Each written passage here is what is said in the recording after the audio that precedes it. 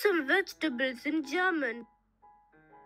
Carrot, Karotte, cucumber, Gurke, tomato, Tomate, lettuce, Kopfsalat, broccoli, Brokkoli, potato, Kartoffel.